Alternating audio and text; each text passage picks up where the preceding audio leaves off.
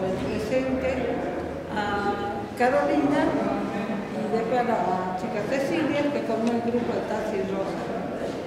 Bueno, no, un placer.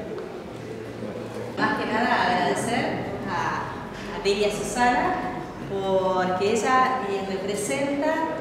tantas mujeres que nos fueron abriendo camino, que se abrieron camino hace casi 40 años en profesiones que eran solamente de hombres y hoy nos permite a nosotras también a recorrer un camino mucho más fácil.